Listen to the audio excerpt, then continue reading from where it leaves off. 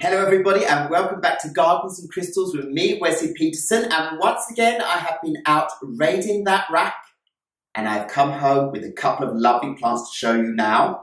These are extra, extra, extra, extra, extra, extra, extra long. Now look at these. These two beautiful plants I'm holding up beside me here like two weights are called Scindapsus pictus argyraeus. And they are very long.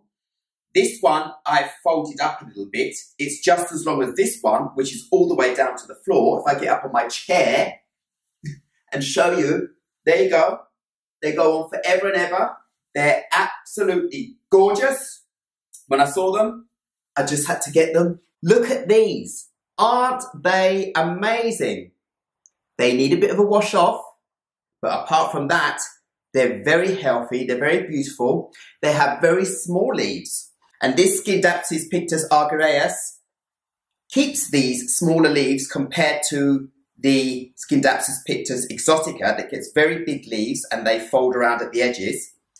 This Scindapsus pictus argyraea, the leaves stay much more flat and they have the same kind of splotches on them as Exotica, but stay smaller. I bought these two because I have an idea that I will want to put them trailing around our kitchen window. I've been thinking about something that I want to have trailing around the window there for a while, and I didn't know what. And then when I was out in the plant centre, these two were just hanging there like this, screaming out my name, we will be perfect to hang around your kitchen window because they're so long. So when I end up putting these on either side of the window, um, the window is about one and a half to two meters long and these will trail up along the side on wire and around the top, so framing the whole window. And on that windowsill, I have all sorts of plants and cuttings, lots of different things propagating. Um, so I want something to go around the edge of that. So these are just going to be perfect for that. These are just beautiful. Just going to take you in for a closer look now, just to make sure you can see everything. Aren't those leaves beautiful? Oh, this is a lovely plant. I was so glad that I found those while I was out there.